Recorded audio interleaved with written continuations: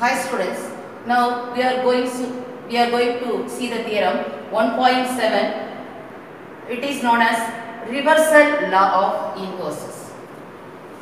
If A and B are non-singular matrices of the same order, then the product AB is also non-singular. First, they have given A and B are non-singular matrices and the product AB is also non-singular and AB whole inverse is equal to B inverse A inverse.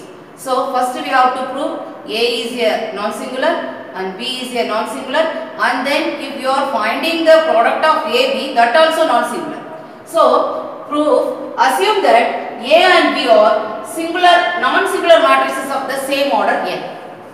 Why? Because they have given the same point A and B are non-singular matrices of the same order n. So, we know non-singular means the determinant of A not equal to 0, B another one ma matrices they have given. So, modulus B that is the determinant of B not equal to 0. So, not equal to 0 means A inverse and B inverse exist. Then the second point what they have given, the product AB is also non-singular. The product AB is also non-singular means the product of AB and B inverse A inverse. Reversal law of inverses. Reversal means you have to interchange that AB into BA. So reversal law of uh, inverses AB and B inverse A inverse are also of the same order N. Using the product of determinants, we are getting the determinant of AB is equal to determinant of A into determinant of B. That also not equal to 0. So, AB is a non-singular. Now, we are going to prove AB of whole inverse is equal to B inverse A inverse.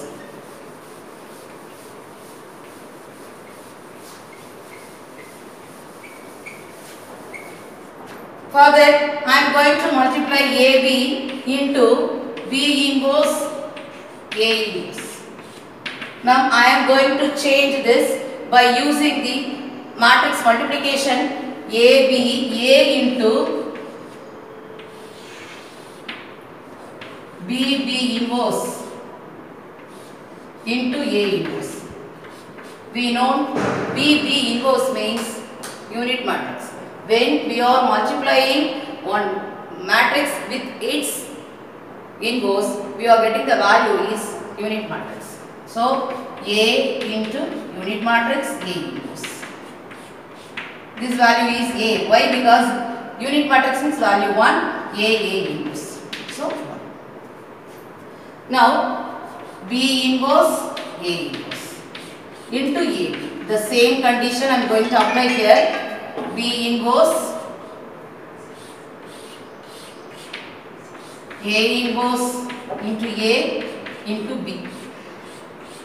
By using the matrix multiplication, this value is B inverse into unit matrix into B. So, I am going to write B inverse into B that also. So, these two things are same. So, AB of whole inverse is equal to B inverse A inverse. Hence, proved. Thank you.